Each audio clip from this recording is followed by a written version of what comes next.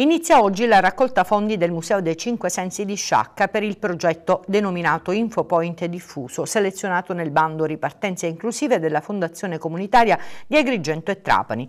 La Fondazione ha creduto nell'impatto dell'iniziativa del Museo dei Cinque Sensi e pertanto finanzierà una parte del valore del progetto con un contributo pari al 70%. Per la restante parte, quindi affinché l'iniziativa si realizzi, il Museo Diffuso chiede il supporto di tutti. L'obiettivo della raccolta raccolta fondi promossa su For Funding è quello di raccogliere 3.000 euro che permetteranno di realizzare l'Infopoint diffuso. L'importo servirà inoltre per l'acquisto di dispositivi di traduzione simultanea dotati di visore per i contenuti in LIS.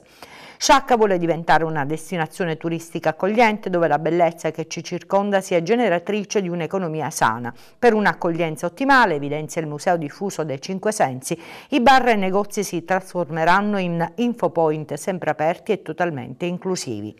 Le informazioni saranno date in tutte le lingue del mondo grazie ai traduttori simultanei. Ci sarà un orario di apertura ampissimo perché si inizierà la mattina con il bar per chiudere poi a notte tarda con il pub in luoghi distribuiti nel centro storico.